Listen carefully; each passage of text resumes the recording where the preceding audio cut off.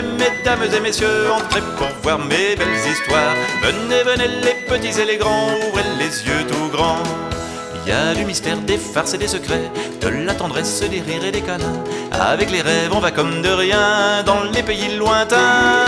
Venez, venez, mesdames et messieurs, entrez pour voir mes belles histoires. Venez, venez, les petits et les grands, ouvrez les yeux tout grands.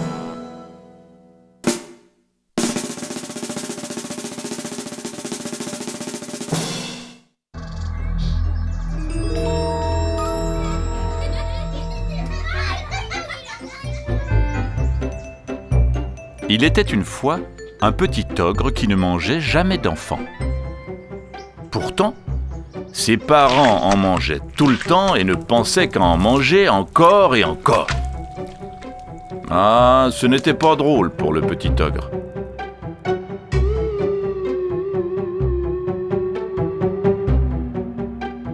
Ses parents ne jouaient jamais avec lui, il n'avait jamais d'histoire à lui raconter. Chez lui, ça ne sentait jamais la tarte aux pommes ou le clafoutis, ça sentait la chair fraîche et l'ennui. Le petit ogre s'ennuyait tellement que souvent il criait, il gémissait, il tapait des pieds. Alors ses parents lui disaient Arrête de faire du bruit, tu vas nous couper l'appétit. Le petit ogre n'avait qu'une distraction, se cacher derrière les buissons pour regarder les enfants jouer. Ah, comme ils avaient l'air de s'amuser. Un jour, le petit ogre trouve un livre. Un livre avec des images et plein de petits signes noirs. Le petit ogre emporte le livre chez lui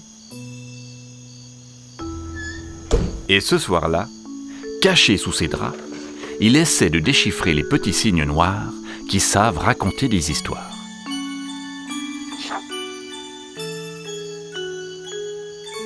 Mais les petits signes se taisent. Les petits signes se taisent tant et si bien que le lendemain, Je veux aller à l'école pour apprendre à lire. Arrête de dire des bêtises et mange. Allez, mange donc. Mais le petit ogre refuse de manger. Il refuse tant et si bien que le lendemain, son père l'accompagne à l'école.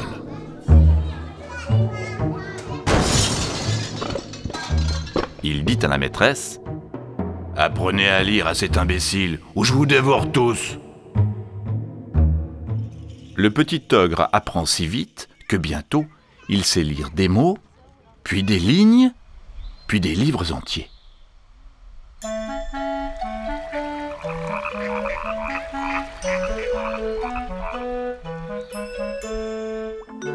Ses parents sont bien étonnés. Ils sont si étonnés qu'un soir, ils en arrêtent même de manger. Le petit ogre leur lit une histoire à haute voix, et quand il a fini, Une autre, une autre. Encore, encore. les soirs suivants, dès que le petit ogre rentre de l'école, ses parents le tirent par la manche pour qu'il leur lise d'autres histoires. Et il rit. Et il pleure. Parfois même, Ils ont peur. Un soir, le petit ogre en profite pour leur lire un livre, un livre de cuisine très appétissant, dans lequel on ne cuit pas d'enfants. Le jour de son anniversaire, le petit ogre invite ses amis de l'école à goûter. Mais quand ses copains arrivent, le petit ogre a peur tout à coup.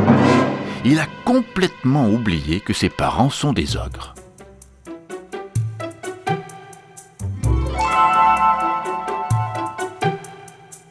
Tout l'après-midi, les enfants s'amusent comme des fous. Les parents ogres sont charmants. Ils nous montrent leurs grandes dents grand riant. Quand tout le monde est parti, les parents du petit ogre lui disent Tes copains, tu peux les inviter quand tu veux. Mais il faut nous promettre de nous lire chaque soir une histoire. Et bien sûr, le petit ogre a promis.